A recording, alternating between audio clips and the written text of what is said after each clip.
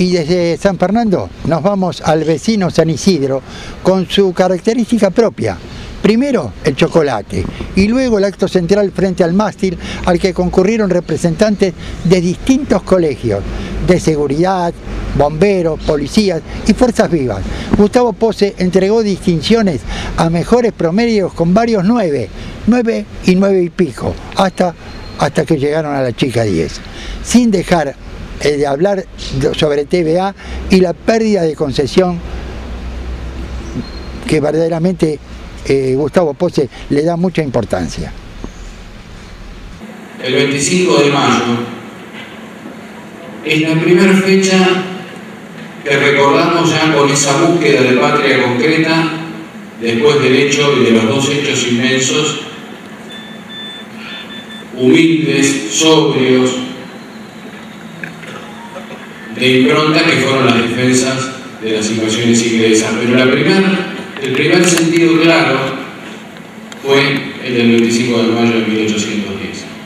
Nosotros los adultos, chicos, lo que les queremos decir, a los más chiquititos de inicial, le vamos a decir que vamos a hablar poquito para que entonces nos puedan prestar mucha atención. El 25 de mayo fue la primera vez que lo que hoy es el país se pudo mostrar juntos. Que hubo aciertos, muchos, que hubo errores desde aquel momento, pero que siempre hubo una búsqueda de nación.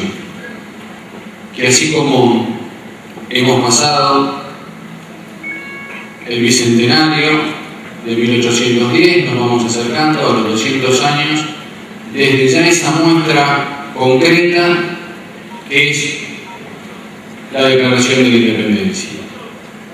Que los países, como las familias, como la vida, no tienen una sola línea recta y que se llega desde un punto hacia el otro punto. Que el punto de conjunto hacia el objetivo es el hecho de que el país sea cada vez más grande, sea cada vez más organizado, que sea un país donde las personas, las que nacen acá, las que se acercan a vivir acá, tal cual dice la Constitución, lo hacen para crear la nación. Se trabaja, se estudia, es un derecho el de trabajar y el de estudiar, contiene también obligaciones que son la de luchar por engrandecer el país desde lo que se hace desde el individuo, desde lo que se hace como amigo, desde lo que se hace como vecino en un barrio, como vecino en un contexto más importante, ya en el de vecino ciudadano, en el municipio, y así hasta llegar a, esa, a ese sentido de nación. Hoy lo que tenemos todos, más, más explotado en una fecha como la de hoy, es ese sentimiento de patria, ese sentido de nación.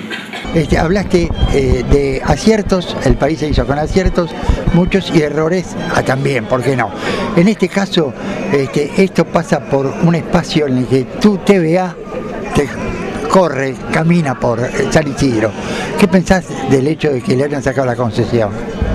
Bueno, el tren va a funcionar lo mismo, no es de alarmarse que por eso va a dejar de funcionar el lunes el tren acá hay errores de control por parte del Estado en la concesión. Y por el otro lado hay eh, dificultades seguramente de la empresa en el sentido de que no hubo un correcto ejercicio de esto. Es muy difícil igualmente que si no hay tarifa y no hay control del uso del subsidio, el servicio sea bueno. Y te voy a decir una cosa, este, el del Mitre, es el mejor, te imaginas lo que son los peores, ¿no? Sí, no, indudablemente eh, no podrían sectorizar para la zona norte, no, porque entonces estaríamos haciendo privilegios. No, pero en los municipios hemos estado muy encima, vos sabés que nosotros, y aún así ha habido dificultades y también eh, situaciones no deseadas, etcétera, pero eh, ojalá sea ver una etapa y que la etapa sea positiva. De todas maneras, eh, esto no está solo, está, TVA está enganchado en otros lugares también y no sé si el hecho de sacarla va a ser sacarla en medio de todos lados. Esperemos que la, la, decisión, acá hubo errores de falta de control todos estos años respecto del dinero que se le daba y de la tarifa que se le daba a TVA. El servicio debía haber sido mejor. Claro, porque... No es posible que se viaje casi gratis, no es posible que se dé subsidios y que los subsidios no se controlen. La clave anda por ahí. bueno, no si, hay, si hay, claro, porque, porque se van comiendo la amortización de, de, los bienes de capital que el Estado les entregó o que ellos, las empresas, pusieron para ganar la licitación. Bueno, y ahora de esa fea, eh, o puede ser linda para el futuro, me quedo con esta de los chicos, ¿no?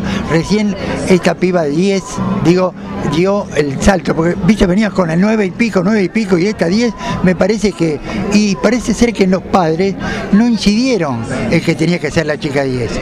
Ah, son chicos talentosos y contracturados al estudio. Eh, y el final de este encuentro con la gente, ¿cómo te hace?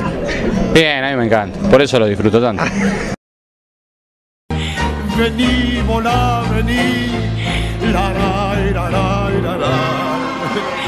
Y decía de la chica 10, aquí va, se llama Delfina Taroni del Colegio Cardenal Espínola. Un lujo, escúchenla, a ella y a la mamá. Supongo que no debes ser eh, una, una, chupa libro todo el tiempo. No, no. Esforzándome. ¿Sí? Sí. Estudias mucho. Eh, a ver, eh, ¿y qué le decís a las otras compañeras que no llegaron a 10, pero que por ahí tienen 9, tienen 9, 50 o algo, algo por el estilo? ¿Y, y qué significás vos como ejemplo para todos tus compañeros? Eh, todas las chicas me felicitan y yo también las felicito a ellas. No, sí.